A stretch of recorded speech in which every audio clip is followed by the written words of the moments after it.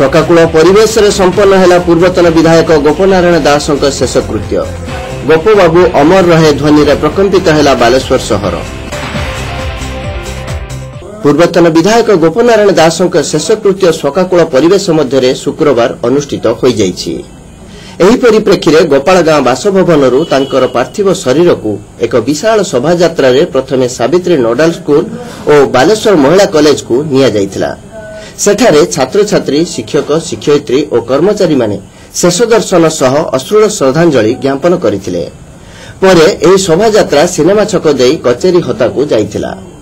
କଚେରୀ ପରିସରରେ ଆଇନଜୀବୀ ମହୋରୀରଙ୍କ ସମେତ ଶହ ଶହ ସାଧାରଣ ଲୋକେ ଶେଷ ସମ୍ମାନ ପ୍ରଦାନ ସହ ଶ୍ରଦ୍ଧାସୁମନ ଜ୍ଞାପନ କରିଥିଲେ। ପରେ ଶୋଭାଯାତ୍ରା ମାର୍ଚେଣ୍ଟ କୋ ଅପରେଟିଭ୍ ବ୍ୟାଙ୍କ ଓ ଫକୀରମୋହନ କଲେଜକୁ ନିଆଯାଇଥିଲା।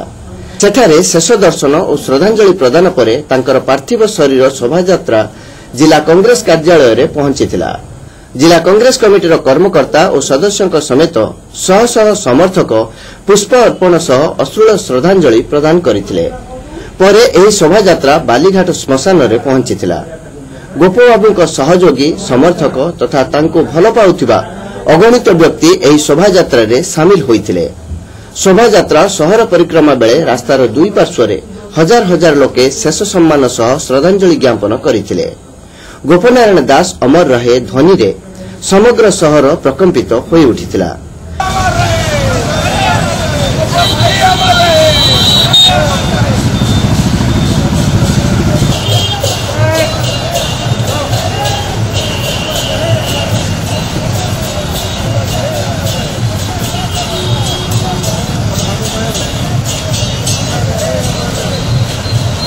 ବାଲିଘାଟରେ ଶୋକାକୁଳ ପରିବେଶରେ ତାଙ୍କର ଶେଷକୃତ୍ୟ ସମ୍ପନ୍ନ ହୋଇଥିଲା।